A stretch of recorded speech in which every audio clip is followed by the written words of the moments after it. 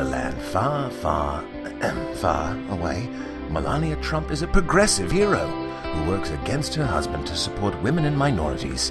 We call her Fantasy Melania.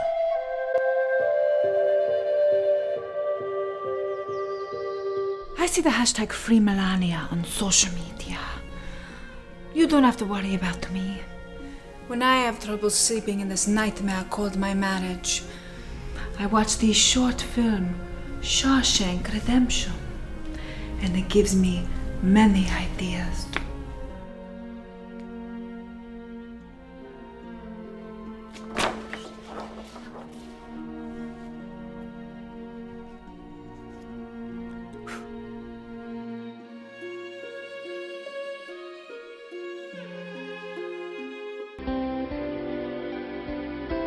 And so Fantasy Melania lives on as a figment of our collective imagination. Each day, the real Melania Trump wakes up to support her husband's evil deeds in stilettos and with a smile.